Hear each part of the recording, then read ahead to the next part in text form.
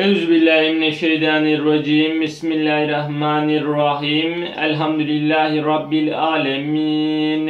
Errahmanirrahim. Maliki yevmiddin.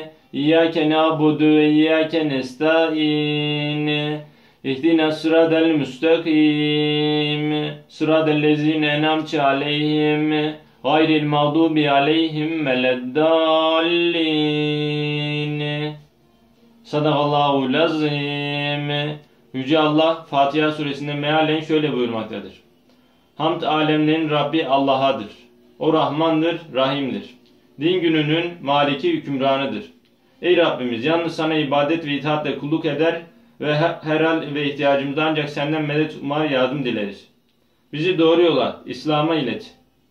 Kendilerine lütfundan nimet verdiğin kimselerin yoluna, gazaba uğramışların ve sapıtanların değil. Amin.